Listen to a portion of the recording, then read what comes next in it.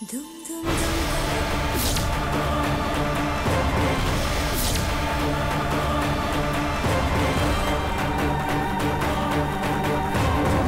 എന്റെ കയ്യിൽ നിന്ന് ഒരു ആനുകൂല്യവും പ്രതീക്ഷിക്കണ്ട.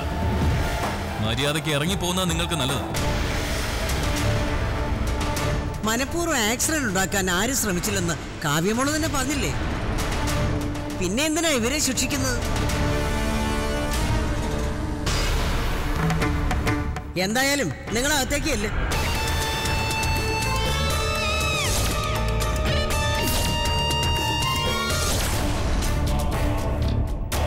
അവളെ തുനിഞ്ഞിറങ്ങിയതിന്റെ പിന്നിലെ രഹസ്യം അറിഞ്ഞേ പറ്റൂ. കണ്ടെത്തും ഞാൻ.